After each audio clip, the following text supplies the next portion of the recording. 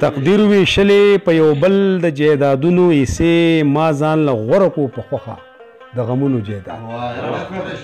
ډیره مننه جی چې په سر دې د سرونو انبار جوړ کړم بیا به هلستا د مینې یو خار جوړ کړم زه یو داسې شخصیت ته بلنه ورکوم څوک چې د شپږو شعري مجبو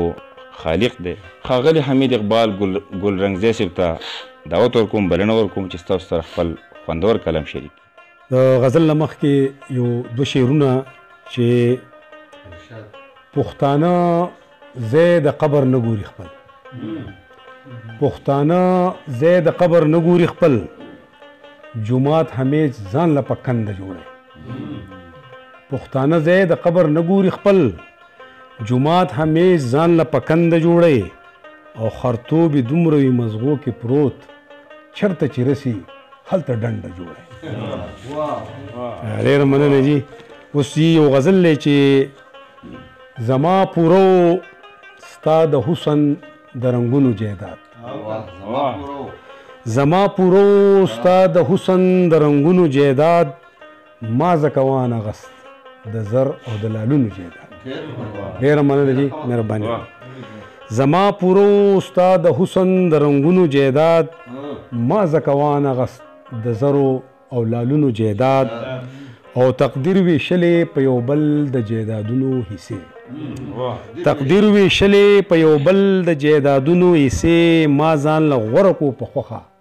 د غمونو جیداد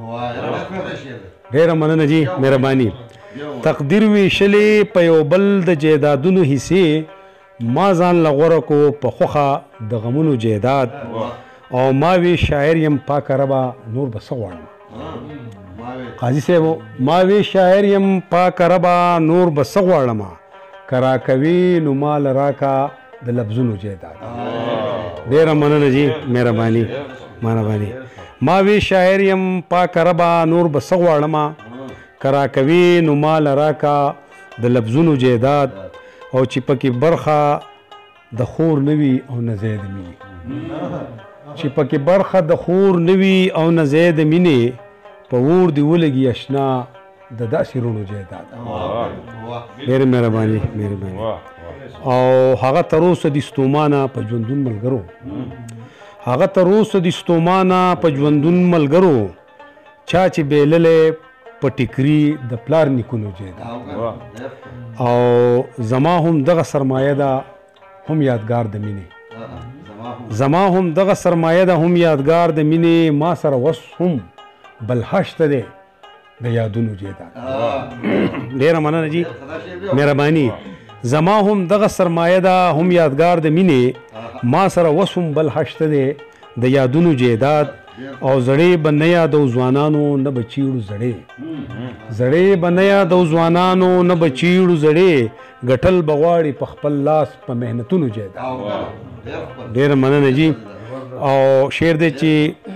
څه شاملات چې د دې قام د تکلیفونو دي ټول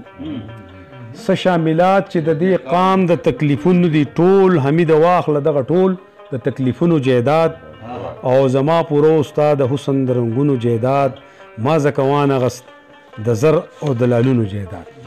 هاس یو غزل دی چې چې په سر دی د سرونو انبار جوړ کم چې په سر دی د سرونو انبار جوړ کړم بیا به هله ستا د مینې یو ښار جوړ کړم چې په سر دی د سرونو انبار جوړ کړم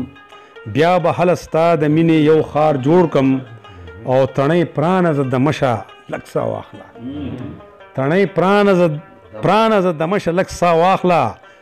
تا له هم به زوروره سکار جوړ کم او فکر مکو نیک بختې ګرانه نه ده فکر مکو نیک بختې ګرانه نه ده ستا نظر به ستا د سترګو دلدار جوړ کړي فکر مه کوه نیکبختي ګرانه نه ده ستا نظر به ستا د سترګو دلدار جوړ کړم او که بیا هم خفه کېدلې زړه دې نه و که بیا هم خفه کېدلې زړه دې نه و ستا د زلفو د رسو نه به دار جوړ کړم ډېره مننه جي مهرباني که بیا هم خفه کېدلې زړه دې نه و ستا د زلفو د رسو نه به دار جوړ کړم او حق به راوړم ستا په خپو کې به یې کېږدم حق به راوړم ستا په خپو کې به یې کېږدم ستا دپاره به بې وخته شاتار جوړ کړم ډېره مننه یي او دا ځواني به دې بیا تل راته دعا کوي همدرد صاحب دا ځواني به دې بیا تل راته دعا کوي دې ځوانۍ له به دې داسې سینګار جوړ کړم مهرباني جي مهرباني او اخیری شعر دی چې ګلرنزیا ستا د پن یم قدردانه ګلرنزیا ستا د پن یم قدردانه ستا په قبر به ګلرنګ مزار جوړ کړم